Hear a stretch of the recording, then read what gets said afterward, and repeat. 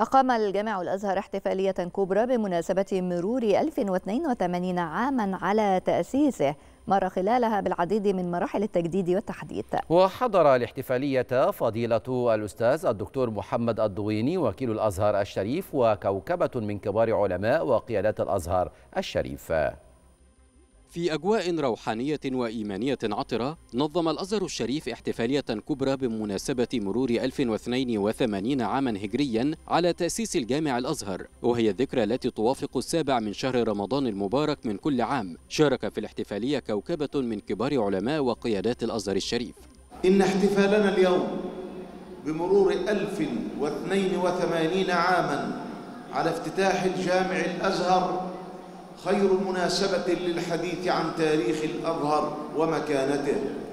باعتباره مؤسسة وطنية ترسخ وجودها في وجدان الأمة وتأكدت بصماتها في جبين الزمان ويعد الأزهر الشريف بهذا الاعتبار جزءا مهما من تاريخ وطننا وأمتنا.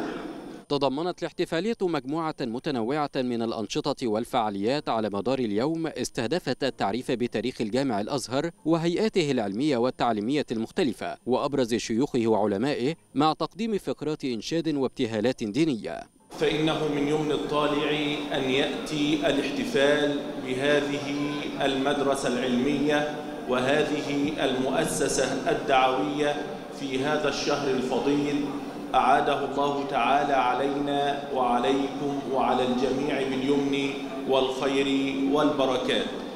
والمتأمل في تاريخ هذا الشهر ينظر إليه على أنه نافذة من نوافذ التغيير, من نوافذ التغيير والإصلاح.